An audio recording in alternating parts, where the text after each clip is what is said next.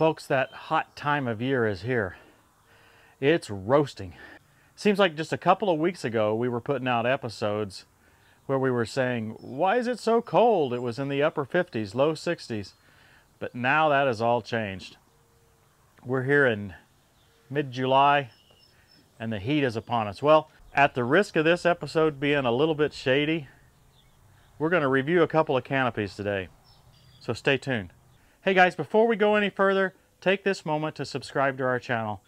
It means a lot to us and helps our channel to continue to grow and to continue to flourish. We really appreciate it.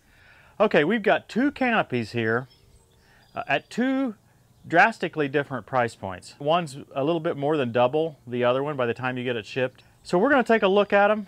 We've been using both of these canopies now for a few weeks. And to summarize, Christy and I love both of them. The canopy I've got on Johnny here is a Curtis canopy. On Vinny, we've got the rhino hide canopy. Let's start with the similarities of these canopies. Both of them are removable. You'll want to remove these canopies if you travel with a trailer. Neither of them are safe at highway speeds, or at least at my highway speeds, right? You don't want to go on the interstate with these. Your canopy might end up, well, not attached to the tractor.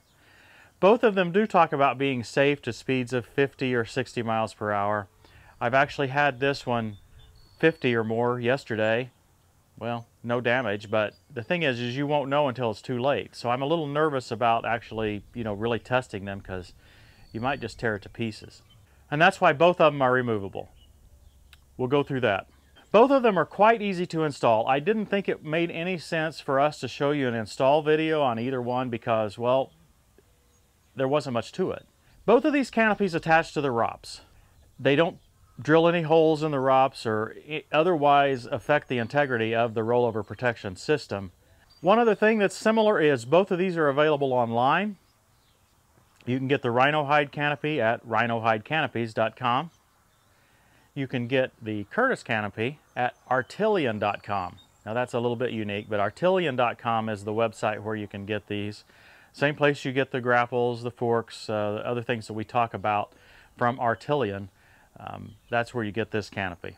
Before we go into the details of each individual canopy, I, I just want to make some general statements about the engineering approach. I'm fascinated by how people choose to design different products. While both of these products are easy to install, removable, they fit many different tractors. Anything with a ROPS like this, they will fit different size ROPS. They're flexible. While all that's true of both of these canopies, they use radically different design approaches. It's fascinating how two different groups can come up with two different approaches to solving the same problem. So with that thought in mind, we'll go through each of these canopies in more detail. Which one should we start with? Maybe we'll start with the rhino hide. Okay, I'm sitting here under the rhino hide canopy. Um, one thing that we should notice is that it's a very small canopy. The dimensions, I'm not exactly sure of the dimensions, but uh, it's a much smaller cover uh, than the Curtis. But it's fine because you can mount it lower. And so we've actually found it to be very shady and, and very useful in that sense. Okay, so let's talk about the mounting. How did it mount to the ROPS? They sent me an extra mounting kit in case I want to put it on another unit. Um, and it's really a simple design. This is probably the simplest way you could engineer something like this. This is the mounting bracket right here. This is all there is to mounting to the ROPS. So you've got two pieces. You can do a 2x3 ROPS by, well, you just won't snug it down, a 2x2 ROPS. Maybe even a 2x4. I don't know if that'll quite fit or not. Okay. Well, how about front and back? Well, if it's too far forward, you can turn this around backwards. Right? You could mount it vertically. You may, it's, it's amazing. Now, these two holes, you'll only use one of these holes. For the other hole, you drill it yourself. That's how you get the ROPS at the angle that you want. We use the top hole that was supplied in the bracket. Let's see, it's like that. We use the top hole. we got it at the time level, and I'll explain that in a minute. We got it level and then we drilled the back hole. Now, ours is not level anymore. Why not? Well, after some use, this U-bolt has slipped a little bit. Now, to be honest, I don't mind it not being perfectly level. So that's why I didn't adjust it even before this episode was because I kind of like it headed downward a little bit. It's sort of like a, a sun visor, you know, uh, on your car. It's, it's working well that way. So this is what I would consider to be the simplest mounting bracket that I could consider. Okay. And you put it into the top hole. You can go any angle. Forward leaning, backwards leaning, it doesn't matter. And then this bracket here goes the length of the canopy. And you drill your own holes. So there are a few holes that have to be drilled, one through steel here, and a couple through the canopy material here. Okay, let's talk about removal. Um, there's two hand tighten kind of set bolt set screws here. Now the way I've got it mounted, these handles are actually hitting the ROPS. So that's not perfect, but that was my choice of mounting, right? I could have mounted it a little bit different and avoided that. One thing the canopy could have done to have made that less of an issue would have been to have put a nut on this side as well. If they'd have put a nut on this side, I could have used the front side. I don't know if this is the best way, but it's the way I'm going to show you is that once we've got it loose, I can set right on the tractor and go up. Now, yes, I whacked myself in the tummy, but I didn't need to. You can put it on in the same way. Right? I don't know, does it weigh? It doesn't weigh very much. It's not very heavy like that, so that's a, a way to do it. I've also put it on from around behind, but this is a suitable approach. It, it works fine. I have no complaints about how easy it is to put this canopy on or remove it. It works great. Now I found the installation time on this canopy to be a bit longer than the other canopy I reviewed. And that's not because of complexity. Again, this is a very simple mechanism. It's because it had so much flexibility that it took me a while to decide uh, the best approach for my unit. And I don't know that I consider that a bad thing. It just took a little bit longer and a little bit more thinking for me to decide how I wanted to mount it to Vinny. RhinoHideCanopies.com has a bunch of different options illustrated on their website. So you know, when you get ready to mount it on your machine, you can you can use that for ideas and well, it'll fit pretty much anything. Rhino Hide does have a kit to make this reversible so that you can put it backwards over a backhoe. I didn't get that kit. I think it's $50 additional over the easy off canopy. I didn't mention earlier, I will now, there is a permanent mounted Rhino Hide canopy. It's 40 or $50 less than the easy off one. I can't see a reason to get that unless you're absolutely certain that you'll never want to put your tractor on a trailer. Overall, this canopy works. It's simple, it's easy enough to install. If you're interested in this canopy, you can buy it at rhinohidecanopies.com and you can get a discount. Yes, there is a TTWT discount available.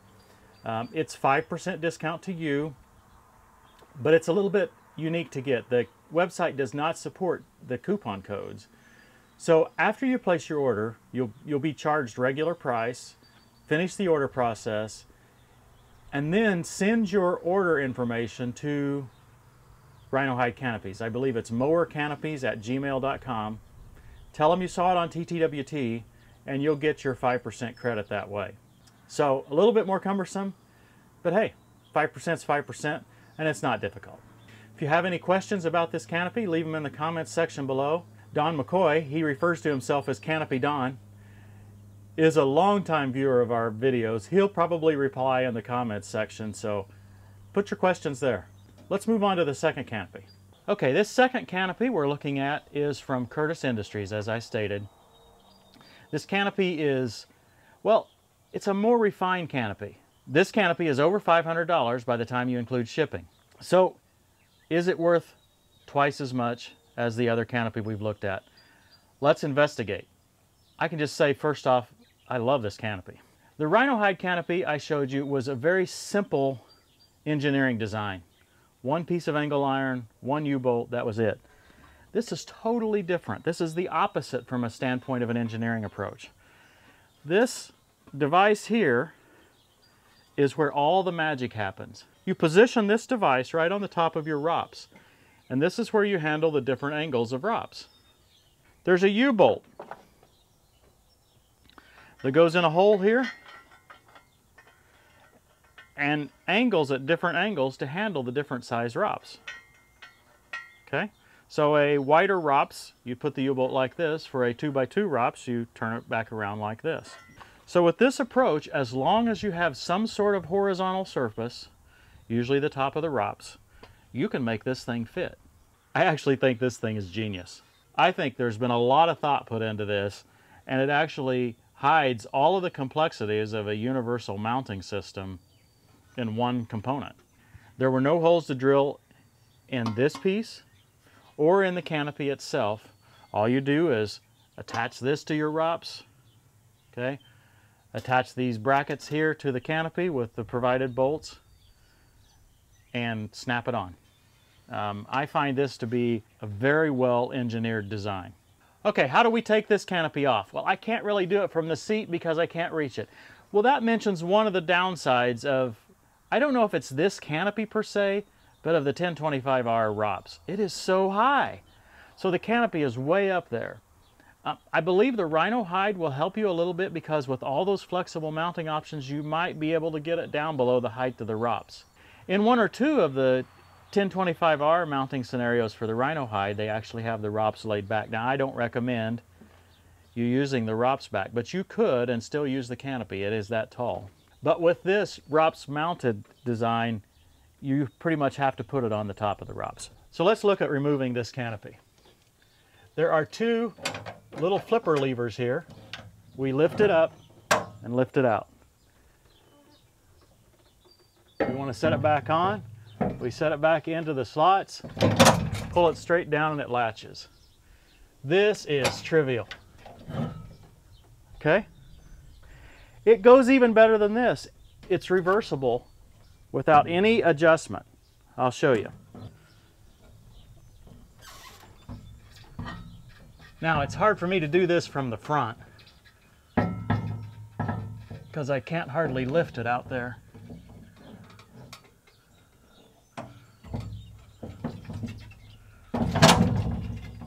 But there it is reversed in backhoe position.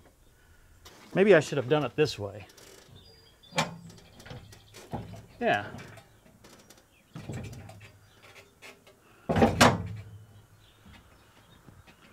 Very nice. Since this is symmetrical, that's how we can do the reversing. We can put this slot in this end to mount it over the backhoe. But we'll show it forward here.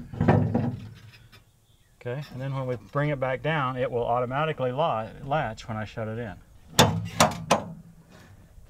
Now this is a bit awkward with the three-point hitch attachment on. You'd want to use this in the reverse position with a backhoe. And if I had the backhoe platform here, this is easy. I've actually tried it. I know it's easy. But uh, even so, it's trivial to put this thing on in the reverse position. Wow, it's cooler under here, Christy. Right out here, not so cool. When I started this exercise, the first question I had to answer was, do I want a canopy at all? All the time growing up on the farm, we had open station tractors. My dad never wanted a canopy. He always, I believe, was thinking that they would be really bad in the brush, and I think they might be. If you've got a lot of low-hanging brush, it might not be good. But after having both of these canopies for a few weeks now, my opinion's changed. These things are both so easy to remove that you know, if you have a scenario you can't use them, take them off quickly.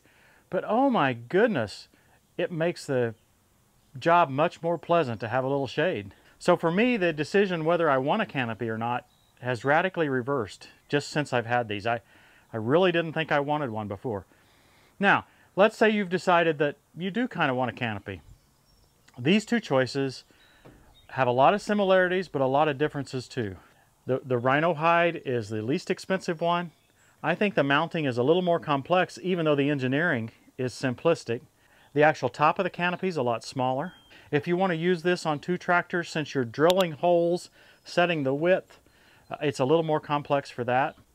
Contrast that with this one. The installation was trivial, really a 15 minute install. The on-off, those two brackets and the way it just slides down in, in the slots is, is fabulous. Amazing engineering. This one's aluminum. This one is, I don't know, some sort of a poly.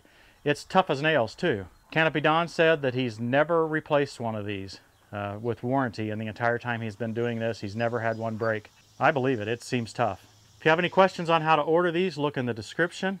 Artillian.com, rhinohidecanopies.com. Either way, I'm convinced you'll be satisfied. With the Curtis Canopy at Artillian.com, you can use coupon code TTWT for a $50 discount. Now at present, that $50 discount is limited until the end of August 2019. Who knows, it may be extended, but I can't promise that at this point. So if you're interested in one of these canopies and you want that discount, I'd recommend ordering soon. The Rhino Hide, as I mentioned, you get a 5% discount, but you have to email him after the sale. So mowercanopies at gmail.com, email him after the sale with a copy of your receipt, and you can get your 5% discount there. Which one do I recommend? I, I, It's hard for me to say. I like them both. I prefer this canopy, the Curtis one, but it's a lot more expensive. So I don't know which one fits your needs the best, nor do I know which one fits your budget the best. You'll have to make that call. But overall, I'm came into this study not expecting to like a canopy at all, and I'm finishing loving both of them. What's better than that? Okay, thanks for watching everybody. I hope this isn't a shady episode. Anyway, thanks for watching. We'll see you next time on Tractor Time with Tim.